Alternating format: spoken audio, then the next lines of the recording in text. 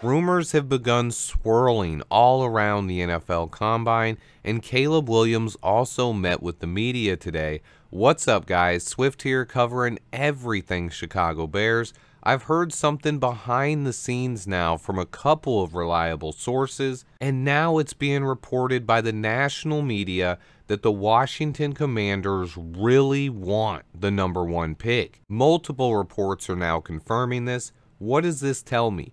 It tells me that Ryan Poles is trying to keep his leverage and squeeze everything he can out of a trade. I think he might also be comfortable drafting Caleb Williams, where now he can say, hey, if you don't meet my crazy trade demands, I'm fine taking Caleb. I know how good he is. Poles has all of the leverage here. He has heard all of the hype about Caleb Williams and he's attended his games firsthand. On top of that, he hasn't shied away from the comparisons to Patrick Mahomes. Ryan Poles is aware that other teams really value Caleb Williams. And for Poles, it comes down to is he comfortable with Caleb or would he rather set the franchise up for the next decade? It's never been Caleb versus Justin. I really wish people would stop making it that the number one pick is the most valuable asset in the NFL.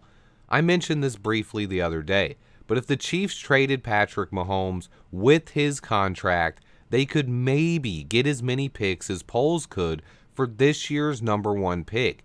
That's what this is all about. Is any player really worth that many draft picks? Having all of that draft capital would give Ryan Poles the flexibility to move up and take a quarterback even if Justin Fields doesn't work out.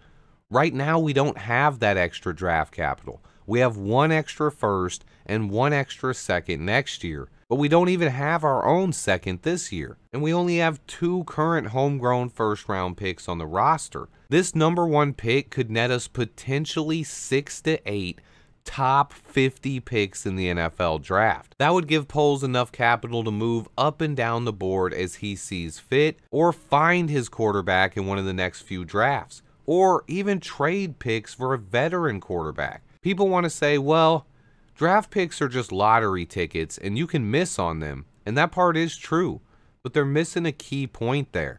You don't even have to draft a player with the draft pick. Think about what the Miami Dolphins did. They were the team that traded down with the San Francisco 49ers when they moved up to take Trey Lance.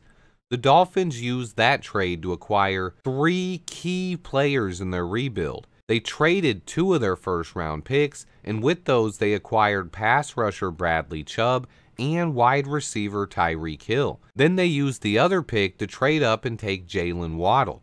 One trade allowed them to have the ammunition to add Tyreek Hill Jaylen Waddle, and Bradley Chubb, completely transforming the franchise.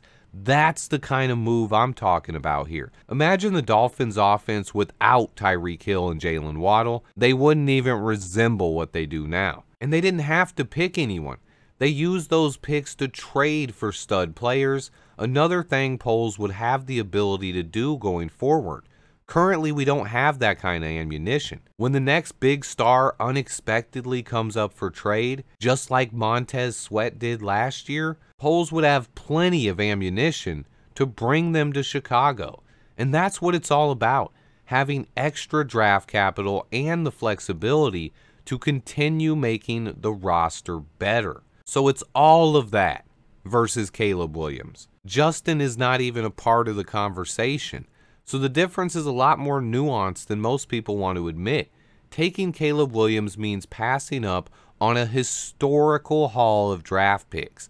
And that is the real story here. Going even deeper, when it comes to Washington, they have the second pick.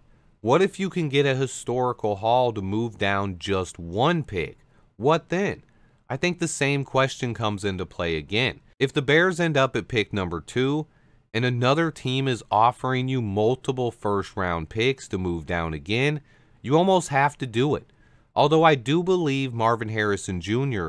is more of a sure thing than Caleb Williams is, let me explain that quickly. Quarterbacks are simply the hardest position to project when it comes to the NFL. Nobody knows if they will be great or not, If they did, teams wouldn't draft the wrong guy almost every single year. Trubisky went before Mahomes, Sam Darnold went before Josh Allen, Bryce Young went before CJ Stroud last year. It's just what happens in the NFL. Projecting how quarterbacks will translate into the NFL is just a guessing game, and it's not an exact science. Meanwhile, Marvin Harrison Jr.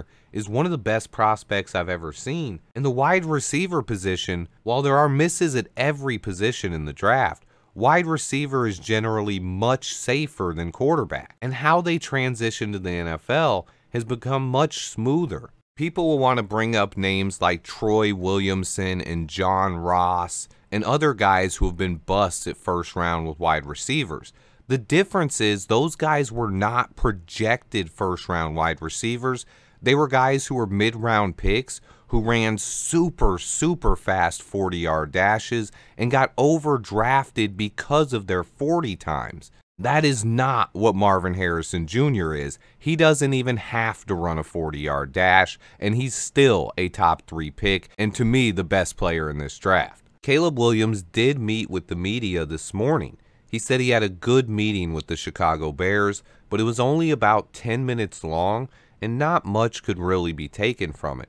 They will have a one on one top 30 visit with him later this month. Caleb did compliment our defense and how we won seven games last year. He said the Bears are a good team, and then Caleb laughed off concerns about his size. He said he's the same size as Aaron Rodgers, roughly 6 foot 1 or 6 foot 2 and 220 pounds. We will just have to take his word for it until later this month though at USC's Pro Day as Caleb Williams became the first player in NFL history to opt not to weigh in or do medicals at the combine. He did say he will send his medicals individually to each team he meets with, but does not see the need of giving medicals to every team in the NFL draft. Caleb was then asked what he wants to know about the Chicago Bears, and he simply said, Do they want to win?